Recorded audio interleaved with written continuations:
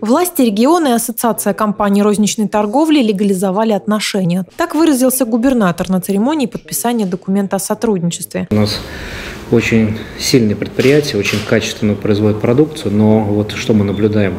У нас по основным видам продукции где-то в торговых сетях федеральных представлено только 7%, тогда как э, в региональных сетях 22%. Понятно, что это несправедливость надо, надо скорректировать.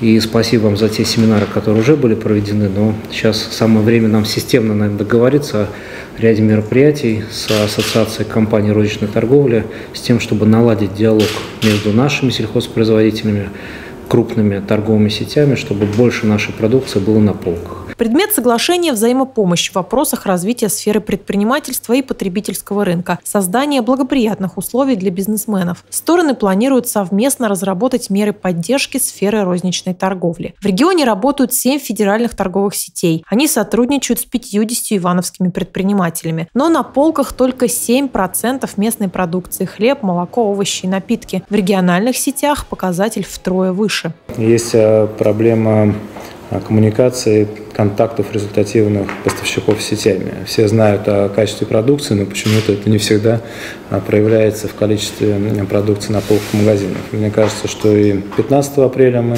некоторые проблемы а, сумели решить.